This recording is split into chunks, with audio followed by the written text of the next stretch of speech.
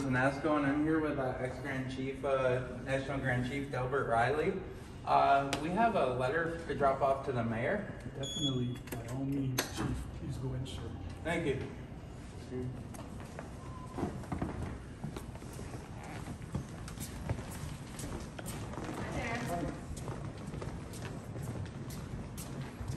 Thank you, sir. Is this to be dropped off to, this is for Mayor Sutcliffe? No problem. I'll make sure he gets it. Thank you. You guys have a wonderful day. We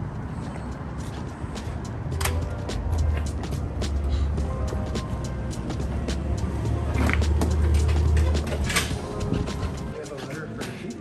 This is uh, ex-Grand Chief.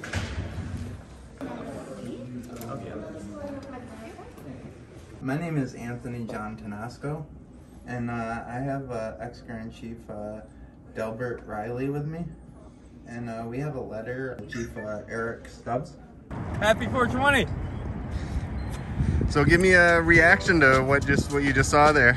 It's amazing, amazing. I think that the city is going to be very supportive of what we're doing.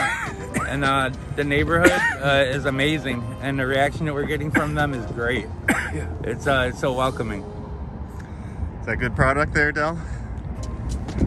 Oh, yeah, yeah, very good, yeah. Maybe at some point in the future, uh, uh, the criminal justice system can turn around and uh, uh, use uh, uh, the British system of, of law instead of the, the racist law we have to face so many times. They were cordial and friendly, and, the, the uh, information that we, we had with us.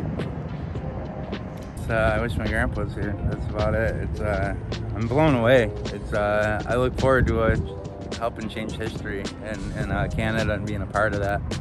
And uh, it'll be amazing. Good things are about to happen and to come from this. And uh, it's gonna be huge.